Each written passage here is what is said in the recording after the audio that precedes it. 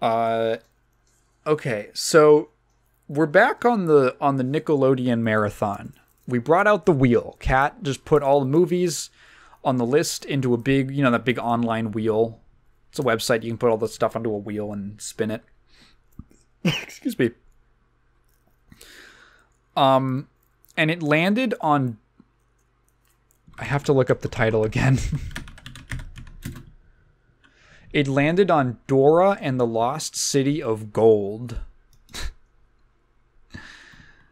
which was a film that we were not we it landed on that and we said uh, oh, God, okay fine i guess we'll get we'll get it out of the way this was the live action dora the explorer movie uh, from 2019 that i think everyone just completely forgot about that it even came out and it was in theaters again we're only doing the theatrical releases it was in theaters everyone forgot about it um, and we we couldn't even find it on any. It's on like Paramount Plus, which like she doesn't have. Who has Paramount? Leave a comment if you have Paramount Plus. It's like a fake streaming service. Red Letter Media in that one Nerd Crew episode literally made up Paramount Plus as a joke, and then it became real. They predicted the future. Uh, so uh, we watched the. We had to go pirate this because we couldn't find it anywhere. We watched it and we were like, okay, this is fuck. Okay, fine. So the film, like, we just got to get this out of the way, uh, and that's what this is gonna be. Obviously, based off of the Dora the Explorer TV show, which I assume it's probably been going for. It's probably still airing. Uh, actually, I, I imagine it's still airing. We both watched it as kids we are familiar with it as much as you can be familiar with a show that you haven't watched since you were like maybe seven at the latest, probably. So the film starts, and it wasn't. it wasn't really what we were expecting. And it's kind of weird. It's a kind of weird film. So weird that about mm, I want to say 20 minutes into into the into watching it, we had to pause because I was so curious about the screenwriter, and we looked it up, and it's a man named uh, uh, primarily written by a man named Tom Wheeler. You might know Tom Wheeler because we scrolled down on his filmography, and his most recent film was Puss in Boots 2: The Last Wish. and we like what? oh, that explains it. This guy is kind of a little he's kind of a little oddball. now, I should I should make it clear. Dora and the Lost City of Gold is uh, nowhere near as good as Puss in Boots 2 The Last Wish as like a film or like like a screenplay, right? As a story. Um, but it's a lot better than I expected. Uh, I was. Uh, I, I, I don't know if I'd. It's so weird. I don't know if I'd call it like a great movie, but we kind of had a lot of fun with it. And part of that was like making like like cracking jokes and riffing and all that. But it's like it was a pretty fun watch. The film is okay. There's this one moment at the start. So the, the opening of the film, it's Dora um as she's like six years old it's like her in the um uh like how she is in the tv show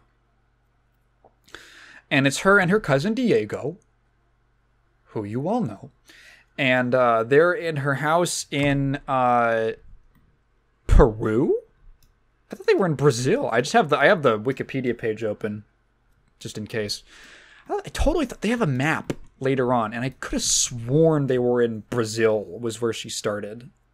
But I guess they're in Peru. Um uh uh and she's with Diego and it's they're they're doing the Dora show with like the talking animals and it lasts about 10 seconds and then they get back to their home and it all wipes away and you realize, "Oh, Okay, so all the Dora stuff with the talking animals and everything, and Swiper's there and all that. Swiper the fox with the the mask and the gloves so he doesn't leave behind paw prints, I guess.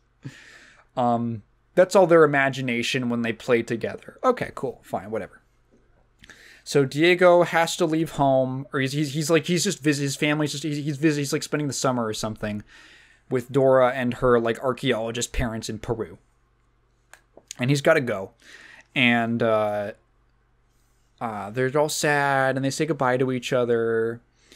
Um, and Dora is back at home with her family, and uh, uh, they're eating dinner or something. Around the table, and she looks at the camera and she says, "Oi," or fuck, what is it? Not oi.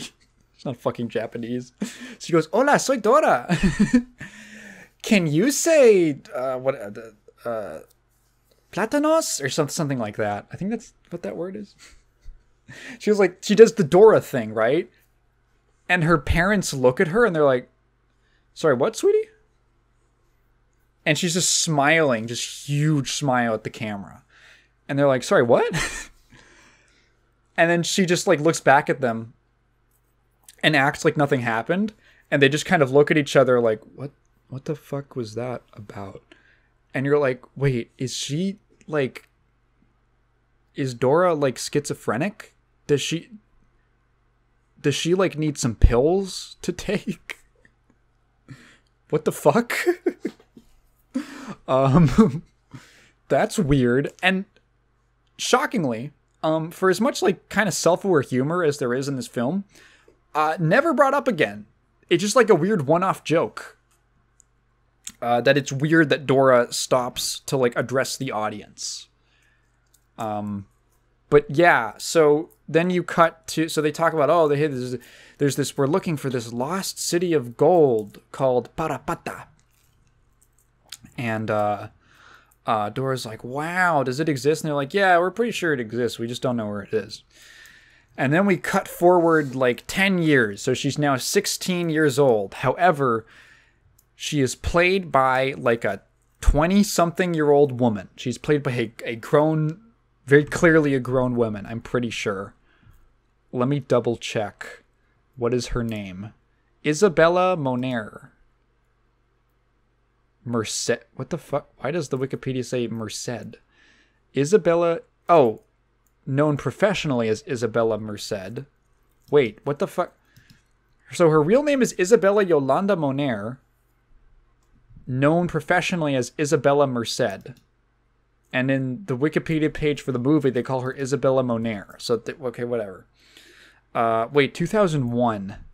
She's a year older than me. So in 2019, when I oh fuck math. Wait. Oh no. Oh no, wait. Oh fuck. Oh fuck. Oh no, wait. Oh no. I gotta pull out the calculator. Shit. Why is the calculator not working? Why is the Windows calculator blacked out? What the fuck is going on? That's weird. It's really strange. I'm so bad at math, I have to I have to I have to hang on. Uh 2019 minus 2001 is 18. okay. Because of the jokes that I'm about to make. Because I fuck okay, so she looks a little okay. Oh, okay. Okay. Okay, we're not fucked yet. All right she looked i thought i totally thought she was like a 20 year old right? I totally thought she was a, she's an, she's 18 in the movie which is about two years older than she should be in the story which actually is pretty decent casting. Now to think about it. Usually they they do just get adults to play children or teenagers which is huh okay so um she's she, okay whoa okay. Back on topic she's so she's she's she's she's uh, running around the jungle with her little monkey friend Boots, who is in the movie but doesn't talk. We'll get to that, um, but doesn't talk, and um, he's just her little monkey friend. He's this weird-looking CG monkey, and she's having a little adventure in the jungle, and she's wearing the Dora outfit, the purple shirt and like the yellow shorts and all that And here's the thing: is I I was thinking about this, and I talked. I said this to Kat. I said, you know, the funny thing about doing like a like a grown up Dora is that you can't cast an actress who's too hot because like the cost the outfit itself like the costume it's like this kind of tight little shirt and these little, these little shorts kat was like yeah like it's getting a, a little dangerously close to like like the sexy halloween costume like version of the costume which now that i know she's 18 is a much worse thing to say Sorry about that, Isabela. Um, uh, for most of the film, she's not in that, and it it it alleviates whatever weird thoughts were happening in my brain. Not weird in the sense that I want to fuck Dora the Explorer, just that I'm making the connection. Okay, get off my back. Uh, yeah. So she's go and she she basically play she's playing Dora as an adult with like no personality development from being a 6-year-old. She is a wide-eyed uh wide-eyed girl with very little social experience who loves nature and knows everything about the animal kingdom and flora and fauna and all this stuff. Uh, and she has little adventures in the jungle.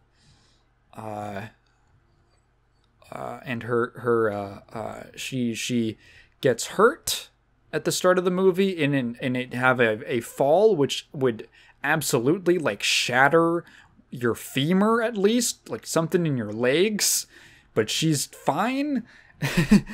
Um, and then she she's back home and her parents are worried because they they want to go on they're going on a trip to to investigate this parapata mystery right and they're like, "We're worried about you. We don't think you can handle being by yourself in the jungle. Like you're a little too reckless. We're sending you to American High School in Southern California, in Silver Lake specifically." and um, she's like, "No, I don't want to go to American High School. I want to be in the jungle." And they're like, "No, you're going to American High School, but watch out." Um, and her dad, played by Michael Pena, uh, has a whole thing about like he's warning her about dangerous people, but he only talks about about ravers, which is like one letter.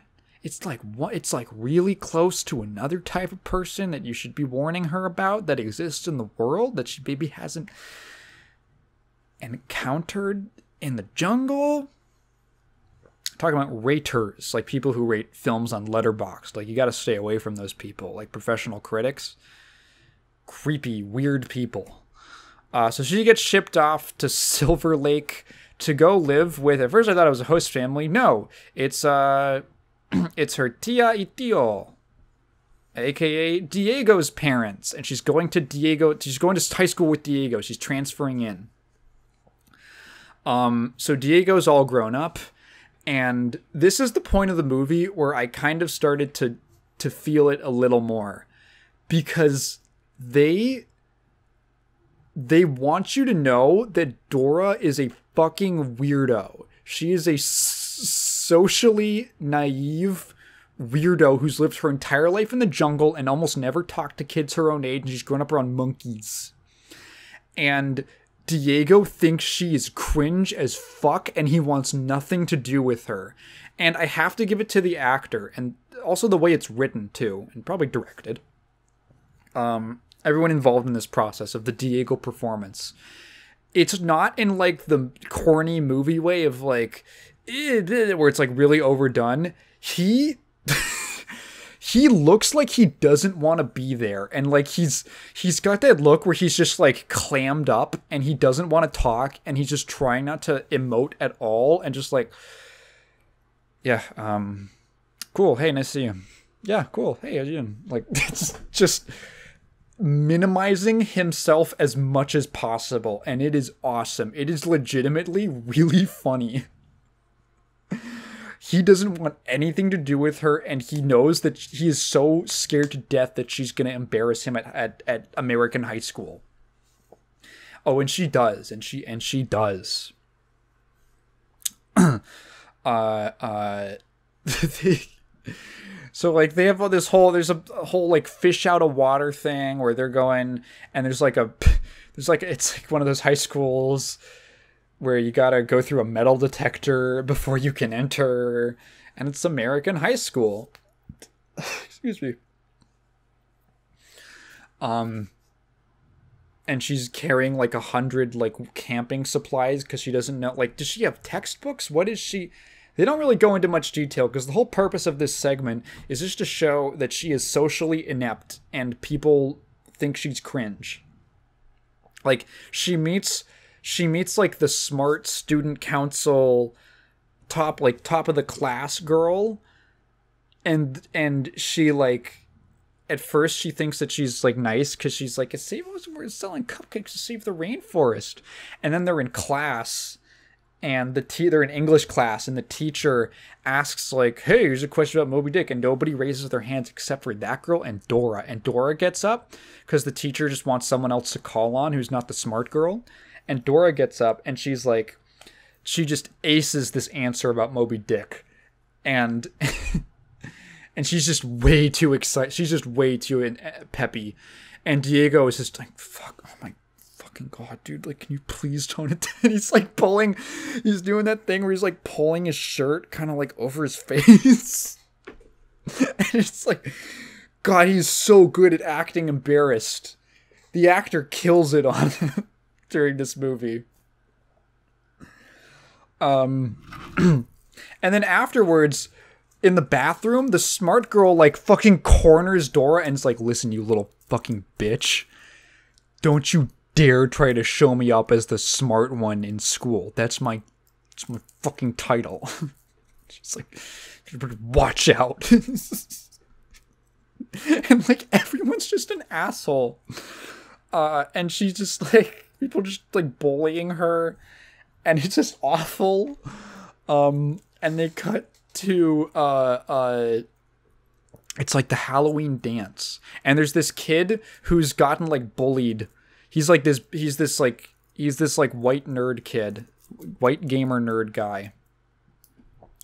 And he's like the first scene he just gets like fucking literally dunked on by some like football players or something and uh, uh, Dora is at this like Halloween costume party for the school, which is the one inaccuracy. I was in high school. Uh, no upperclassmen ever show up to school dances. No one ever does it. It's all because you know how I know that? Because I never showed up to a school dance after sophomore year. And uh, the only time that I went to one, actually, the only time I went to one was because I, I, I was on like student council in some like a complete sinecure position. Uh, but part of that was that I had to go like chaperone, like monitor a school dance. And guess what? It was all freshmen and sophomores, and one senior that I knew from band who got busted on the way in because they found his Juul. Hilarious. And then he got suspended for like a week or something like that. And I watched it happen. I was like, hey, it's it's it's uh I'm not gonna say his name. It's you know, Jehoshaphat and then he fucking get there, they pull it out and he, like out of his sock, and they're like, whoa, whoa, whoa, and I'm like, oh man. Anyway, completely unrealistic that anyone. She's supposed to be 16, so she's like a junior in high school, or at least. Um. Uh, that she that anyone would be there, but anyway, yeah, Smart Girl is there as Ruth Bader Ginsburg, which is really funny. Diego's there is Messi, which is awesome. um, and Dora is like this goofy ass like Party City like sun costume, and she goes up to this the nerdy white gamer guy, and she and. she's like asking him like if he dances or something. He's like, no, I, I can't dance, but like I can I I can like hold my breath. I used to get people would try to drown me in the pool when I was a kid. Uh, and so I, I, I now I learned how to hold my breath underwater for seven minutes because I I was a victim of attempted homicide like multiple times. Like he just says it, and you're like, "What? What the fuck?" And he's like, "You want me to to show you? I can show you right now." And then she doesn't say anything, and then he starts going. He's like, no, I can like imitate a drowning person, and he starts like, and then it just cuts to her like smiling, and then back to him, and then it cuts back to her, and she goes, "I love dancing, Dan- like it's, I think it's really cool, and I love singing too. I'm gonna, I like you like dance, and I'm like, what the? I feel like I'm having a nightmare." I feel like I'm on drugs, like something got released into the air. It's the fucking weirdest thing ever. and then she goes and does a little Wednesday Adam dance uh, uh, on the dance floor. And uh, uh, it's like it's, then she like embarrasses her brother, sorry, cousin. She embarrasses Diego, and he's like, "Dude, you're so cringe. What the fuck? Stop embarrassing me." And they have this big falling out. And she's like, Diego hates me. He thinks I'm cringe. No, I thought I was based, but I was actually cringe.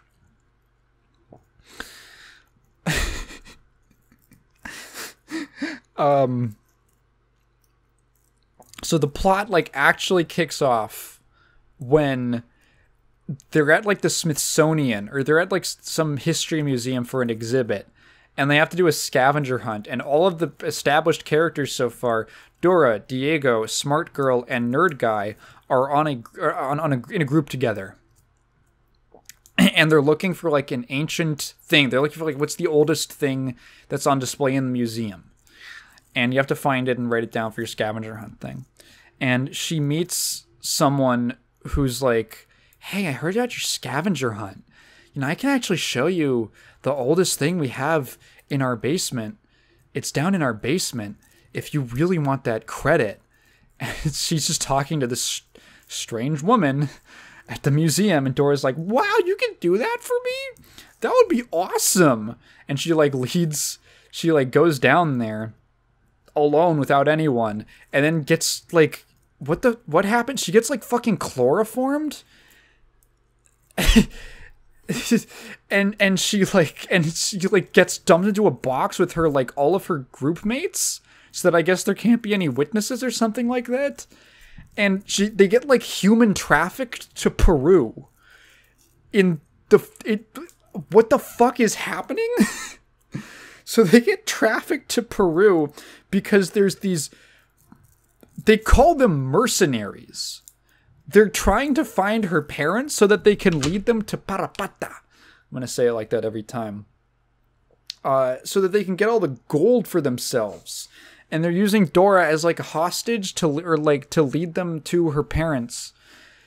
And it's super like it's really weird. So there's this whole escape thing where there's this guy who shows up who I'm like that's going to be like a twist villain, right?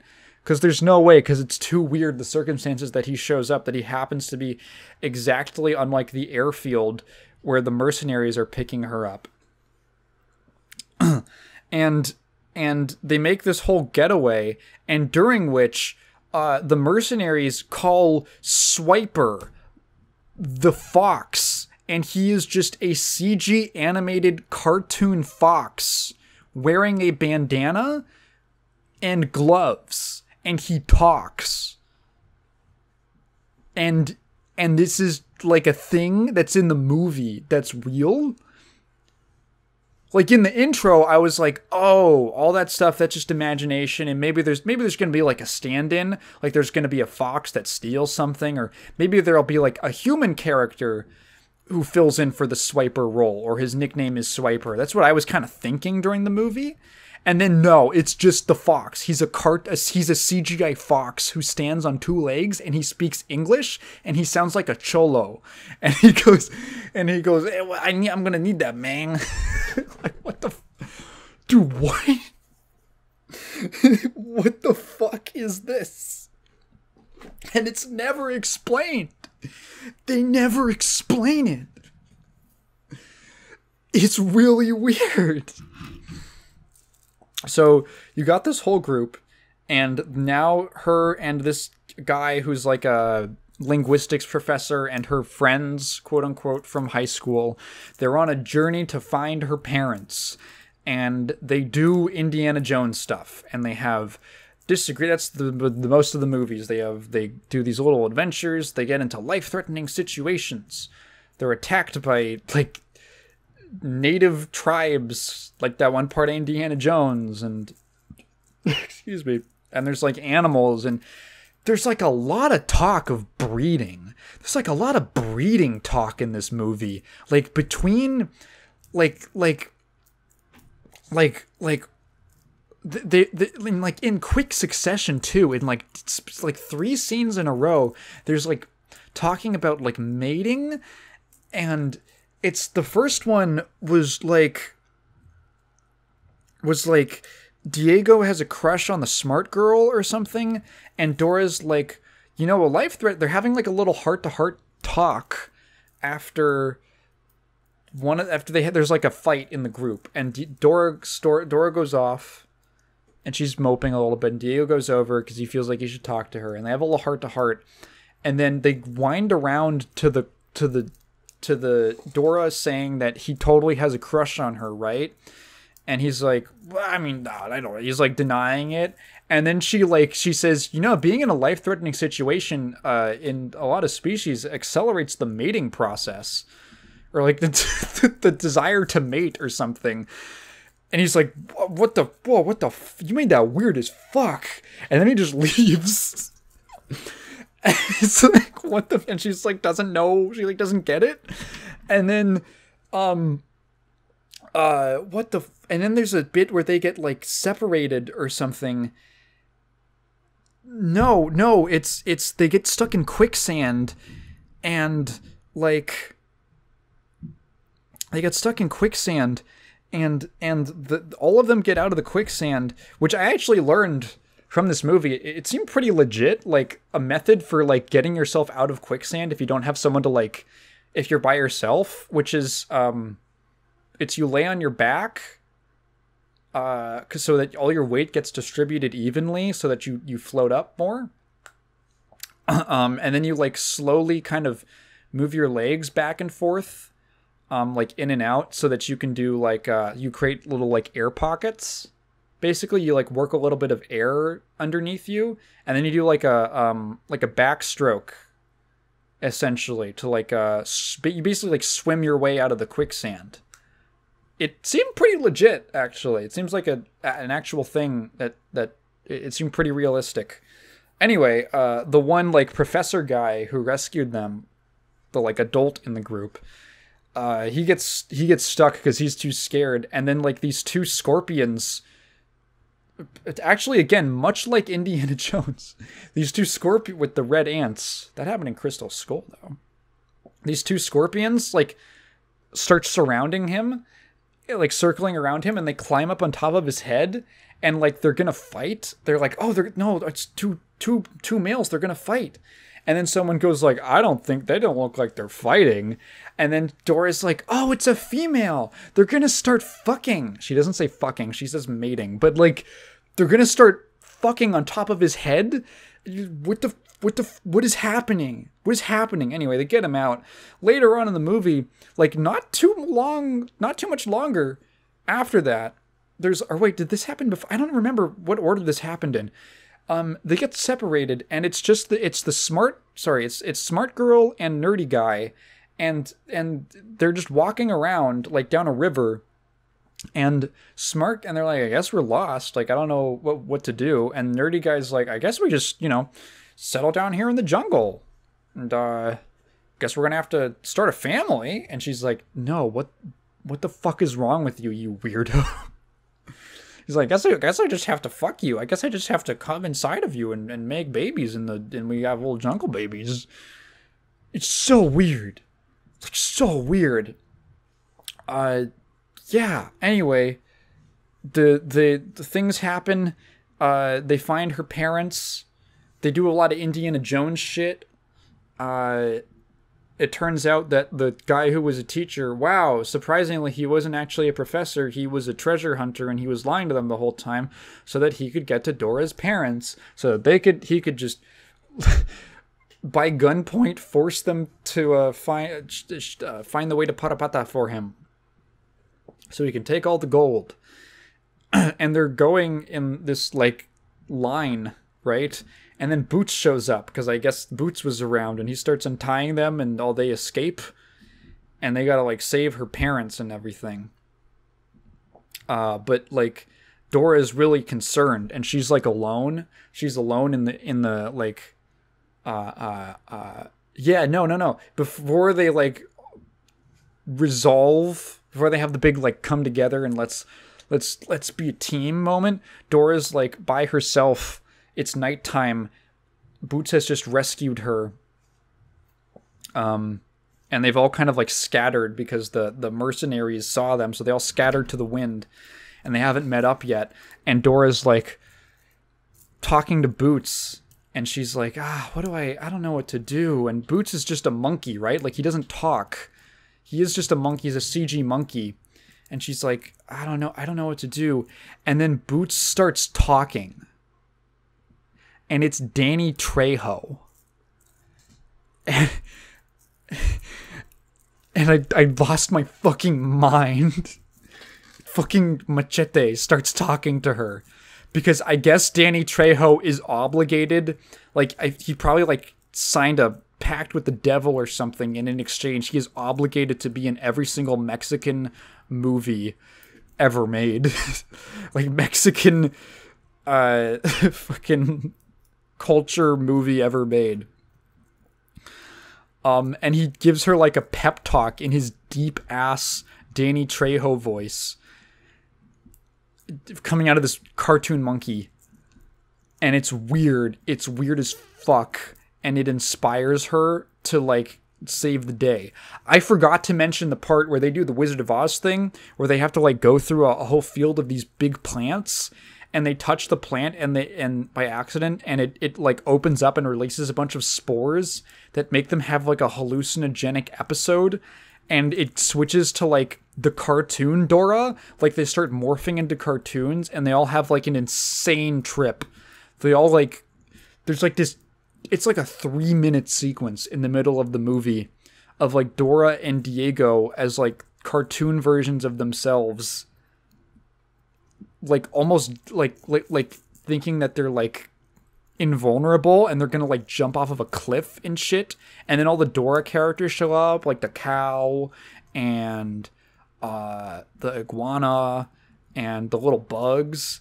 And it's like it's really and the chicken and the troll. It's really weird. And then they just kind of wake up. They had this weird, just like, like acid trip on like jungle spores. It was really strange. I wasn't expecting it. um, d- yeah, and then the end of the movie is literally just uh, the Last Crusade, where I guess mild spoilers for the end of The Last Crusade. You should have watched Indiana Jones and The Last Crusade when I made that podcast segment about it because it's a good movie. Um, it's the literally the same thing of like the the climax of that that film where like the main characters have to go through this whole series of like deadly trials. Um, and then it clears the way after they solve it, it clears the way for the villain to come through. And then there's like a final test at the end, which is like um, it's like a riddle based off of like it's some like moral lesson or something like that. And the villain steps up and he assumes that he knows what it is but he picks the wrong thing um, because he's like greedy and shitty. And then the and then dies for it. He doesn't die in this one. He gets close he gets put in like a precarious situation. He survives at the end, but he gets like captured by by like tribal peoples. Uh, and then Dora picks like the real thing and then saves the day. Uh, and then they're all like gonna have a they're all gonna uh, uh, and then oh then like there's this old woman there's this old woman who is played by apparently a very legendary Mexican actress. Um, named uh, Isela Vega, or is it Isela? Isela Vega, who's like a very or was she died in like 2021. Um, very famous uh, uh, Mexican actress and like director. who uh, plays this old like sage woman, and then she shows back up later in the during the scene and she has this bizarre transformation sequence like Sailor Moon where she like becomes she turns like gold and then the gold like ex- it literally looks like a Kamen Rider transformation sequence and the gold like f- like CGI sparkles off of her and she's like a young like younger I guess hotter woman. Um played by Q'orianka Kil Kil Kilchair? Kil Kilche? Kilchair, I think. Um uh uh yeah, she's 33. She's a very attractive 33-year-old lady. I guess 30 at the time. There's a character in this movie called wait, one of the mercenaries is named Christina X? What the what? um anyway, uh yeah, so then like they capture the treasure hunter guy and then at the last minute that fucking fox comes back swiper and he takes this gold statue that's on like a pressure activated plate and angers the gods and like a hurricane's gonna envelop them and dora has to like grab it from him and run back into the eye of the storm uh, and put it back on and seals up the the ancient treasure and all that. And then the, and then and then she's like and the movie ends and she goes like well it doesn't end there. She goes you know what mom and dad i think i want to go back to american high school because it's a brand new adventure for me. And hey all the characters learn something. Diego eventually learned to trust his sister and to appreciate her her whimsy. Uh the smart girl learned to like ease up a little bit and and got a little bit of perspective that high school isn't the most important fucking thing in the world and it's actually okay to fuck up a little bit in high school and not be the smartest person ever. God dude there's kids in band who made it their entire personality. And it's like dude can you like what are you gonna do when you graduate? Um and that was her. And she had to learn how to not be like that. Uh nerdy guy uh, I, I don't know i guess got a little self-confidence. And then dora learned to embrace new experiences and all that and that being herself is okay. And uh the what else happened? It's pretty much it yeah. That was pretty much yeah that's it. It was a weird movie. It was a very weird film. Uh shockingly enjoyable, fun to watch in some parts, and also fun to laugh at in other parts. Uh, I don't know if I would call it a great movie, but I had a good time watching it, which at least counts for something. It was much better. It was like like we went into this thinking that it was going to be a slog and we were just going to have to like endure like an hour and 40 minutes of like a it's like the Dora movie like what and then it ended up being a lot more interesting than I than I assumed it would be, with a lot of twists that didn't feel like the regular twists of like we're gonna throw in like a risque joke for the parents. There's like genuinely weird stuff, genuinely strange stuff in this film.